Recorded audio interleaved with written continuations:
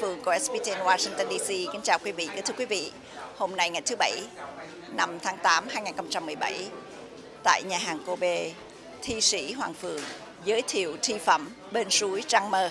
Người ta biết tới Hoàng Phượng là một thương nhân thành đạt, một người phụ nữ rộng lòng với cộng đồng.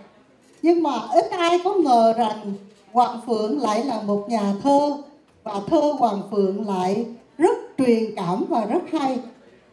Thì khi mà chị Hồng Thủy, phó chủ tịch của chúng tôi đó, đọc thơ Hoàng Phượng lần đầu, chị nói rằng chị bàng hoàng vì cái tập thơ này xuất sắc quá, hay quá, gợi cảm quá và khiến người ta ngưỡng mộ quá.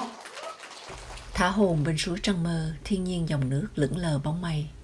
Hai câu thơ trong tập thơ bên suối trăng mơ đã được nhà thơ Hoàng Phượng ra mắt thi phẩm này trong buổi chiều ngày thứ Bảy năm tháng 8 2017 tại nhà hàng Kobe, thành phố Fortress, Virginia. Và đã rất thành công vì nhà hàng không còn một ghế trống. Có rất nhiều quan khách phải ngồi ở ngoài hành lang của nhà hàng. Đó là một điều hạnh phúc cho thi sĩ nhà thơ Hoàng Phượng. Vì trong tập thơ này có gần 60 bài thơ và 4 bài đã được phổ nhạc trong CD Mong manh lụa đào do nhạc sĩ Đức Hùng và nhạc sĩ Đức Tuấn phổ nhạc thành những nhạc phẩm trữ tình. Bên nhau trong môi, dòng thơ sao thấy nhớ. Những thời gian rảnh rỗi, những gì nhà thơ Hoàng Phượng nghĩ đến hay thấy những cảnh vật đang hiện ra trước mắt. Cô lại hủy hoái viết xuống cảm xúc của mình để giải tỏa những suy nghĩ đang chất chứa trong đầu. Cái bên Bích Phượng là ông David Từ và nhà thơ Hoàng Phượng. mình thích những cái bài mà phận làm người á. Phận làm người là có nhất là cuộc sống tại vì mình hấp thụ cuộc sống mỗi ngày á.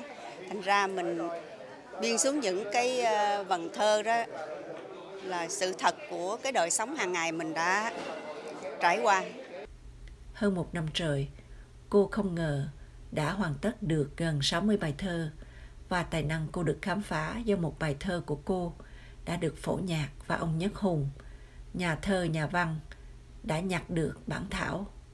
như ở trong tác phẩm có nói chính tôi là người đã có cái sự khám phá ra nhà thơ Hoàng Phượng trong một sự tình cờ à, trước hết là ngay cái lúc mà khám phá đó tôi đã thấy rằng à, chị Hoàng Phượng là một người có những cái bài viết rất có những ý tưởng rất lạ rất hay và rất nhiều đề tài Tình yêu quê hương Việt Nam, yêu người với tấm lòng nhân ái mở rộng.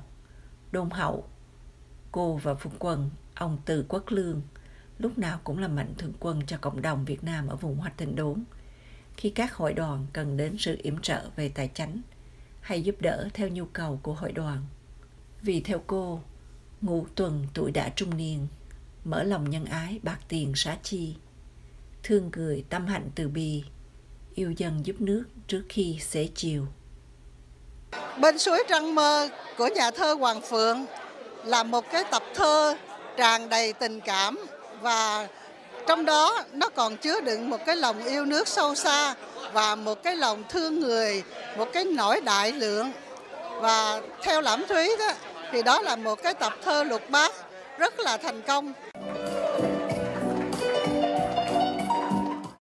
Phương tường trình từ nhà hàng Kobe giới thiệu thi phẩm Bên suối trăng mơ Fortress, Virginia.